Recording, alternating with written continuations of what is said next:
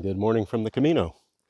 Uh, today I actually do go up to the Cruz de Ferro. That's just looking behind me. There's one person back there. I think I only saw one other person.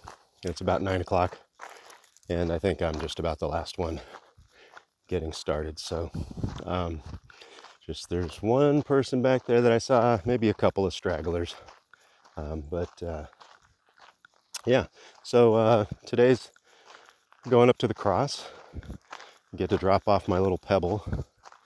And um, the weather's pretty nice. It's blue skies and and it's warm. Um, so that's kind of the benefit of leaving at nine o'clock, I guess. is that uh, it's a little warmer. You don't need a jacket, and uh, yeah, so it's about six kilometers to the cross, and then I'll just sit and you know watch watch people come and go for a little bit, and then head down to the town on the other side. my guidebook had it showing 31 kilometers for some reason. Sometimes they just put it in the schedule that you're going to go these uh, long distances, which are not really necessary. There's a town about uh, 10 or uh, let me see, about 20 kilometers on the other side of the mountain. So you go up to the cross and then you come down the other side. And there's a town right on the other side. And I think that's a 20 kilometer day, which is good. So I'll probably try to stop there if I can find a place to stay.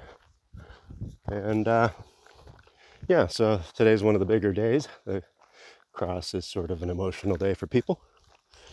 And um, this is the scenery. Looks a lot like Southern California.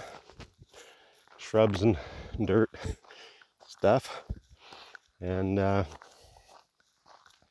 Yep, that's it. We lost uh, two members of our group today.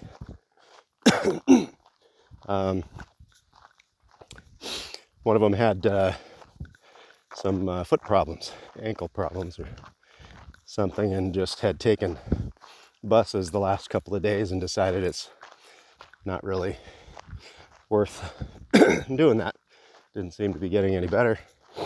So, uh, so two of them are connected there. They're gonna take off and come finish this another time maybe. So down to three of us and and uh, yeah, it's just sort of sort of splitting up the groups. Just sort of do that. You know, especially towards this point, you start to see people you haven't seen in a couple of weeks. Um, you know, people uh, might take a day off somewhere and, and then suddenly you see someone you haven't seen since the start. And uh, so that's kind of kind of where it's at. And then uh, other people keep pushing ahead because they're out of time and they want to get to the finish. So you lose lose your group maybe. And uh, yeah that's just the way it goes. But uh, yeah so today is i think today is kind of the personal day at least that's the way it seems like it should be, but everybody does their own thing. But uh, yeah, for uh, people dealing with issues, whatever, they go up to the cross and deal with it. And uh, I don't really have much going on right now. So for me, I'm just going to go there, get over the top of the hill, and down the other side. And we're down to uh, I don't know, about 10 days or so uh, before the finish. So it's getting close. A couple hundred kilometers left to go.